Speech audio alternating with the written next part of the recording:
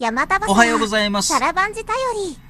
誰が呼んだか心優しきパンクロッカー山田バサラです。昨日に引き続きまして、バサ活をしてまいりました。今日はですね、沖縄市を南下しまして、西原町、えーそして与那原、えー南城市行ってまいりました。特に今日はですね、南城市をですね、えー歩きました。で、歌うたい山田バサラにとってはですね、南城市というのはもうほとんど未開の場所でございまして、やっぱりですね、目的がないまま未開の土地を歩くとですね、なかなかあの出会いがなくて、今日はですね、そのまま帰ろうかなと思って、ブラブラしてましたら帰り道ですよ。なんと、えー教会がですね、カフェをやってるという看板を見つけまして、そこに、ふらりと入ったところですよ。なんとですね、牧師さんがですね、カフェをやってるという沖縄プレイズ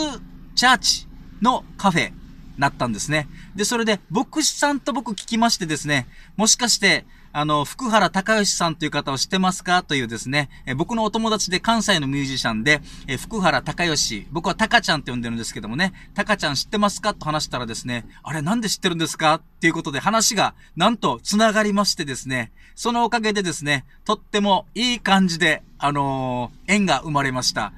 なんかこんなことってあるんですね。えーこうやって、なんかこう、なんていうんですかね、諦めた先にですね、出会いっていうのあるんだな、というふうに、えー思いましてですね、今日はいい、まあ、あのーバサ活になりました。で、あのこうやってバサ活をやって改めて思ったのはですね、もちろん、僕のライブに見に来てほしいなとかね、営業目的とかですね、僕のことを知ってほしいと思って、こうやって、えー、バサ活を僕したんですけれども、なんか、あの、日曜日のですね、ライブに来てほしいというよりもですね、5年後 ?10 年後なんか、また、ふらりとですね、出会うことがあるんじゃないかなというですね、長い、長いお付き合いだと思ってのバサ活だったなというふうにこの2日間思いました。そして改めてですね、YouTube ででもですね、まだお会いしたことがない方がですね、コメントくださったりとか、いいねくださるっていうのが本当に嬉しいんです。なのでですね、なんか改めて、こうやって、あのー実はですね、これ改めてなんか言っちゃいますけどもね、あのーこれ撮り直しなんですよ。先ほどですね、あの、南城市の海で動画撮ったんですけれども、あの、波風というか、海風がとっても強くて、あの、バッチリ撮れたと思ったら声が入ってなかったんですよね。音、音割れがひどくて、それで今実は帰り道、